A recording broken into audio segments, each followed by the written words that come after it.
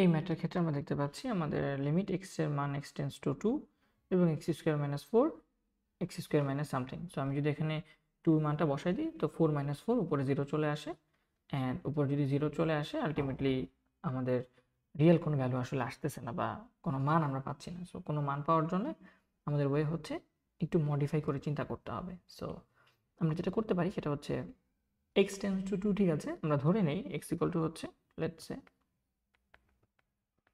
x equal to two plus h তাহলে যেহেতু এক্সের মান দুইয়ের কাছাকাছি, তার মানে এইচের মান কত হবে? যেহেতু এক্স টেন্স টু টু সুতরাং আমরা বলতে পারি এইচ টেন্স টু আসলে জিরো হওয়া উচিত। এইচের মান শূন্য হলেও শূন্য হলে এক্সের মান টু এর কাছাকাছি হবে। তাহলে যেখানে যেখানে এক্সের মান আছে, সেখানে সেখানে আমরা x equal to two plus h বসাই দিব। তাহলে ম্যাথটা যদি আমরা সলভ করার চেষ্টা করি এবং লিমিট যেখানে এক্স টেন্স টু টু আছে, সেখানে আমি এইচ টেন্স টু জিরো বসাই দিতে পারব।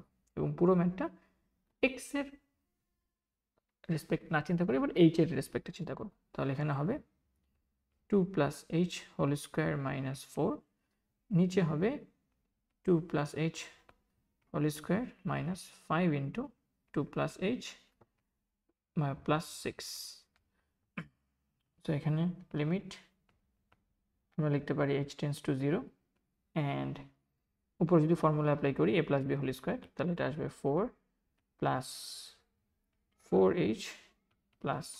h square minus four a square plus two a b plus b square ঠিক সেমভাবে এখানেও সেম আসবে। Four plus four h plus h square minus এটা হচ্ছে পাঁচ দুগুণে দশ মাইনাস ফাইভ এইচ তো minus ten minus five h plus হচ্ছে সিক্স এই পর্যন্ত সহজ। এরপর আবার লিমিট একটু সিম্পলিফাই করার চেষ্টা করব, কাটাকাটি করে যেটা সহজ আসে।